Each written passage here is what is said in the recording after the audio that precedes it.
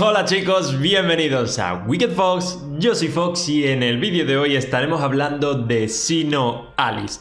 Más concretamente de las armas, ¿vale? Sino Alice es un videojuego que gira en torno a las armas, no cabe duda.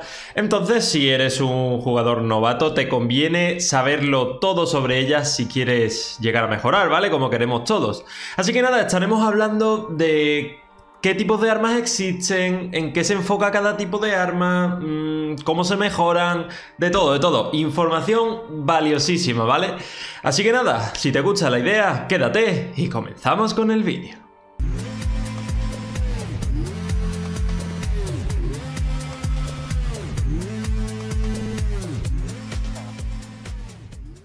Vale chicos, pues antes de empezar con todo este tema de las armas, ¿vale? Quiero decir un inciso rapidísimo, ¿vale? Que se me olvidó decirlo en el vídeo anterior sobre todo lo que tienes que saber sobre Sinoali, ¿vale? Y es que este juego es importantísimo que te metas a un gremio, ¿vale? Aunque acabes de empezar y no conozcas a nadie que tenga un gremio, métete en uno cualquiera, crea el tuyo propio, llénalo, lo que sea, ¿vale? Pero estar metido en un clan, en un gremio, te dan muchas recompensas en este juego, ¿vale? Es muy importante y además este es un juego que está muy enfocado a jugar de forma cooperativa, ¿vale? Así que eso es lo que quería decir, ¿vale? Nosotros en el servidor acabamos de abrir un clan nuevo, se llama GH Army, ¿vale? Gacha Hell Army. Y si no tienes un clan en el que meterte actualmente, que sepas que estás invitado, ¿vale? Pero vale, vale ya con el spam, eso es todo lo que quería decir. Y ahora sí, vamos con el contenido. Vale, vale, vale, vale. Vamos a ver. Eh... Primero de todo, tenemos que saber que existen dos tipos de armas, las de vanguardia y las de retaguardia, ¿vale? Las de vanguardia, en teoría, están enfocadas a hacer daño, ¿vale? Por eso son de los personajes que van delante. Serían, estas armas serían, las tengo aquí apuntadas, ¿vale? Tengo aquí toda la información en mi cuadernito del poder. Es que a mí me gusta demasiado apuntarme las cosas, ¿vale? Yo soy un jugador nuevo como vosotros. Pero bueno, que me estoy enrollando. Las armas de vanguardia serían espadas y martillos, ¿vale? Y luego arcos y lanzas. Y las armas de retaguardia serían el resto de armas, que serían los bastones, las arpas, crimorios y orbes, ¿vale? Una aclaración es decir que, por ejemplo, cuando yo hablo de arpas, por ejemplo, no es que todas las armas eh, sean arpas, ¿vale? Todas las que entran dentro de la clasificación de armas. De, arpas, por ejemplo, algunas veces eh, hay armas que son como violines, ¿vale? Dentro de. Pero entran dentro de la clasificación de arpas, ¿vale? Ahora vamos a ver por qué. Y es que cada arma está enfocada en hacer una cosa. Por ejemplo, las espadas y los martillos están enfocadas en hacer daño físico a los enemigos, ¿vale? Las espadas más enfocadas en hacerlo de forma individual y las, los martillos hacen daño a todos los enemigos, ¿vale? Y luego tenemos también eh, las lanzas y los arcos que hacen daño mágico a los enemigos, los arcos individual y las lanzas de forma... a todos los enemigos, ¿vale? De forma global. Y luego tenemos bastones y arpas que están enfocados sobre todo en ofrecer defensa y apoyo a los aliados. Los bastones curan, eh, las arpas ofrecen buffos, ¿vale? Para mejorar las características de los aliados. Y luego tenemos Grimorios y em, Orbes, ¿vale? Los Grimorios están enfocados. Bueno, estas dos clases están enfocadas en hacer también daño mágico a los enemigos, ¿vale? Y en bajarle las estadísticas a ellos, ¿vale? Las arpas bufan y. Eh, los grimorios debufan, ¿de acuerdo? Entonces, ahora que ya hemos visto cada clase de arma, ¿vale? Eh, mencionar que dependiendo de la clase, cada clase se especializa en un arma u otra, ¿vale? Por ejemplo, como estamos viendo aquí, los bardos están especializados en llevar arpas, ¿vale? Los clérigos en llevar bastones, escindidores en espadas, hechiceros se, especializan en llevar grimorios, eh, los artilleros especializados en llevar arcos. Repito, no son solo arcos, ¿vale? Pueden ser también pistolas, etc. Eh, ¿Qué me queda? Los trituradores son los que llevan los martillos, ¿vale? Paladines los que llevan las lanzas y creo que aquí, me hechicero ya lo he dicho, ¿no? Pero creo que aquí me faltaría el mago. Creo que se llama mago y es el que lleva, el que se especializa en orbes, ¿vale? Recordad que aunque una clase esté especializada en un arma concreta, en una espada, por ejemplo, como el escindidor, también puede llevar otro tipo de arma, ¿vale? Pero siempre va a hacer una mejor performance con su arma concreta, ¿vale? Con el arma en el que está especializado. Y antes de seguir, ¿vale? Porque ahora vamos a hablar de cómo se mejoran las armas, de cómo se hacen más fuertes y también vamos a hablar de las habilidades de las armas porque puede que ya habráis visto que cada arma tiene unas habilidades, tres tipos de habilidades concretamente. Pero bueno, antes de seguir con eso, decir también que dependiendo del arma, eh, tenemos efectividad contra unos tipos de monstruos u otros, ¿vale? Esto es sobre todo eh, especialmente útil en el modo historia y en los eventos, ¿vale? Lo tengo aquí apuntado también. Eh, al parecer las espadas y los martillos tienen efectividad contra fantasmas y pájaros. Y luego eh, los arcos y las lanzas tienen efectividad contra orcos y plantas. Los otros tipos de armas no tienen efectividad contra nada porque realmente no son armas enfocadas en hacer daño, ¿vale? Luego también iréis viendo que, que cada arma tiene un elemento, ¿no? Y bueno, también durante el modo historia veréis que hay monstruos que tienen vulnerabilidad contra un elemento o contra otro, ¿vale? No es solo contra las armas en sí, sino contra los elementos que las portan. Esto se pilla sobre todo practicando, ¿vale? Pasando niveles, no dejándolo automático, sino jugándolo manual. Pero bueno, em, vamos a hablar de tres cosas sobre las armas, ¿vale? Una de ellas será mejorar su nivel y el nivel de sus habilidades, otra de ellas será evolucionarlas y otra de ellas será romper su límite. Estas son todas las opciones que tenemos a la hora de hablar de armas, ¿vale? Em, ya sabemos que cada arma tiene un rango, ¿vale? Puede ir desde la A hasta la S hasta la SR. Dependiendo del rango, las SR en teoría son las mejores. No, en teoría no. Son las mejores, ¿vale? Em, luego están las S, luego están las A. Eh, el nivel máximo que puede alcanzar una R, una SR, es el 60, las S el 50 y las A el 40. Si no me equivoco, es posible subir el rango de un arma, ¿vale? De A a S, de S a SR y de SR a L, ¿vale? Y si no me equivoco, ¿vale? Corregidme si lo hago el nivel máximo de las L es el 70. Así que bueno, aquí le damos a seleccionar los materiales para subida de nivel, ¿vale? Se utilizan estas cajetinas de experiencia. Eh, os voy a decir una cosa, si le dais a seleccionar los recomendados, el juego automáticamente os elige las mejores cajetinas que tengáis, ¿vale? Existen B, A y S. Las No sé por qué las llamo cajetinas, porque es un nombre muy feo, ¿vale? Pero estas cajitas de experiencia si son S, dan mucha más experiencia que las A y las B. Si dais a seleccionar los recomendados, el juego os elige desde la S para abajo, ¿vale?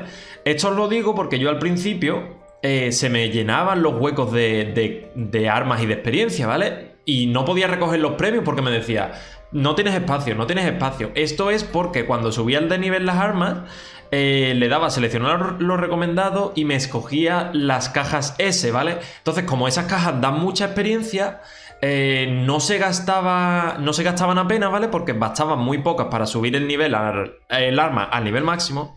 Y entonces por eso mm, os digo que si queréis gastar todas las B, normalmente lo vais a tener que hacer manualmente, ¿vale?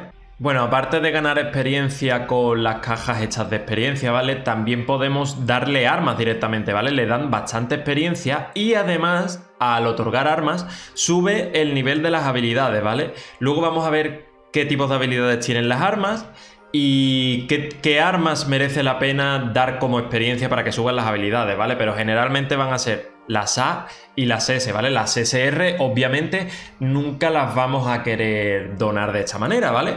Porque, bueno, primero porque somos jugadores free to play, ¿vale? Y tenemos que intentar amasijar el máximo número de armas SR que podamos, porque tampoco es que vayamos aquí de sobrado. Y bueno, eh, de una cosa que se me ha olvidado decir es que cuando otorgamos un arma como sacrificio, ya sea para romper límite, para subir de nivel, para hacer lo que sea con las armas, si otorgamos un arma como sacrificio, nos dan, em, aquí lo podéis ver, medallas de deseo, ¿vale?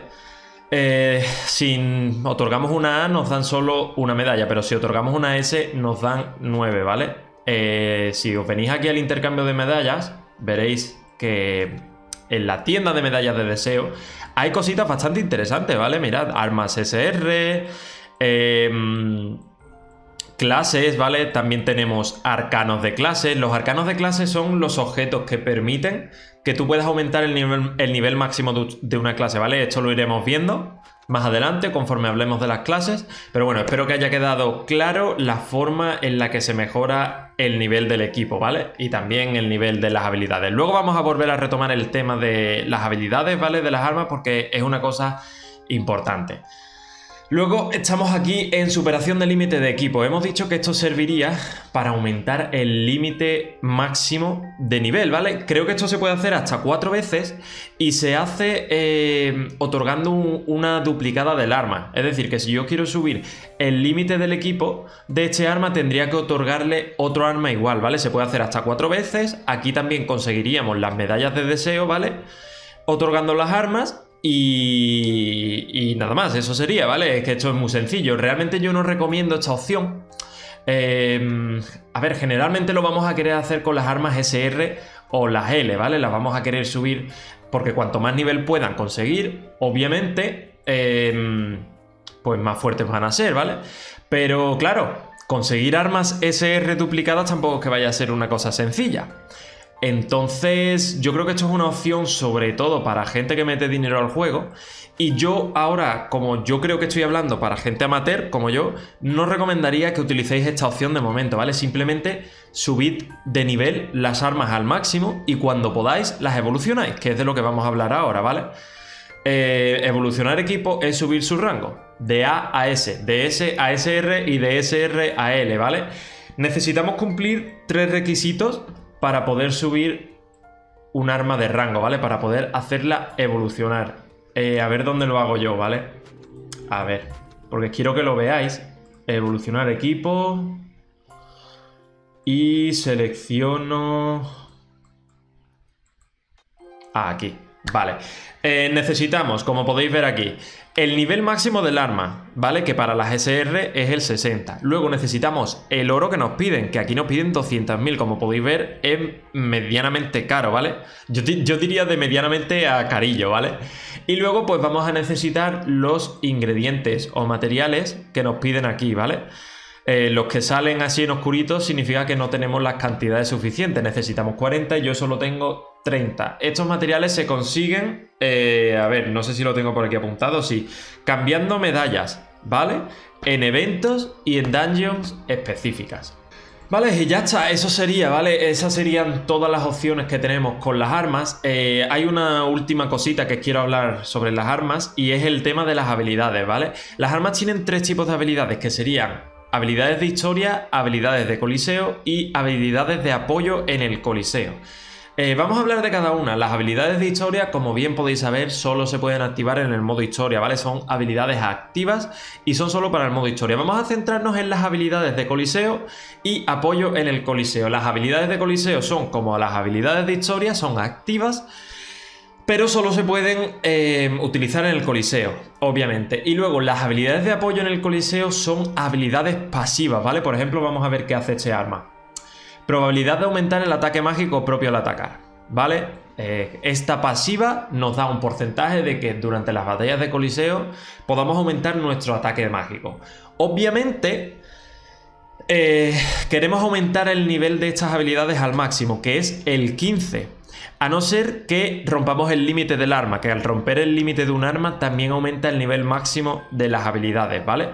Eh, eso, queremos subir al máximo el nivel de todas las habilidades, nos conviene y hay dos maneras de subir el nivel de estas habilidades. Una es la que ya he mencionado antes, ¿vale? Que sería em, donando armas ¿vale? Para subir el nivel del arma. Y luego hay otra manera que serían unos objetos especiales, ¿vale? Son orbes. No sé ahora mismo si os lo puedo encontrar en algún sitio. A ver, dame un momento. Mirad, aquí os lo he encontrado, ¿vale? En, la tienda de, en de medallas de hechizo. Estas gemas, que se llaman gemas de coliseo, imagino que se consiguen también en el coliseo, eh, o a cambio de medallas que nos dan en el Coliseo, son gemas que se dan al arma única y exclusivamente para subir el nivel de sus habilidades, ¿vale? O sea que bueno, es un dato a tener en cuenta. Y nada más chicos, sería eso. Eh, yo recomiendo, ¿vale? Que para... ¿Cómo os digo? Para aprovechar bien vuestros recursos, ¿vale? Eh, intentad subir el nivel de las habilidades del arma a la vez que subís el nivel del arma, ¿vale? No sé si me explico. Si cogéis un arma que está a nivel 1 como esta y le dais un arma, va a subir de nivel tanto su experiencia como la experiencia de sus habilidades, ¿vale? Sin embargo, si cogéis un arma que ya esté a nivel 60, eh, y le dais un arma, pues obviamente solo puede subir su nivel de habilidades, ¿vale? Porque el nivel ya lo tiene al máximo. A lo que me refiero es que intentéis aprovechar a la vez, ¿vale? Y si tenéis armas que os sobran, pues dádselos a vuestras armas de nivel 1 y va a subir la experiencia y la experiencia del nivel de habilidades a la vez, ¿vale? Así digamos que aprovecháis recursos, porque si no, primero vais a tener que gastar eh, las cajas de experiencia y después vais a gastar las armas solo para subir el nivel de las habilidades haciéndolo de esta manera que os digo yo, por lo menos os vais a ahorrar cajas de experiencia, ¿de acuerdo? Y aparte decir también que las habilidades de apoyo en el coliseo, las habilidades pasivas se estaquean, ¿vale? O sea que por esto es importante intentar subir al máximo todas las habilidades pasivas de todas las armas que podáis, porque cuanto más fuertes tengáis todas las habilidades de apoyo en el coliseo de todas vuestras armas, más bufos les vais a dar a vuestros aliados en las batallas de PvP. Por lo tanto, vais a ser jugadores más poderosos, ¿vale? Y nada más chicos, eso sería todo. Espero que este vídeo os haya gustado, espero que os haya sido de utilidad. Si me he dejado algo, si tenéis preguntas o demás, podéis dejarlo en los comentarios. Podéis venir al, al servidor de Discord, ¿vale? A Gachagel, que lo tenéis aquí abajo en la descripción del canal o en la cabecera. Y ahí seguro que cualquier jugador está encantado, o yo mismo, de contestar a vuestras dudas, ¿vale? Nada más chicos, espero que el vídeo os haya gustado, que os sea de utilidad, valoro todo el feedback y recordad que estoy siempre a vuestra disposición. Nada más, nos vemos en el próximo vídeo. Chao, chao.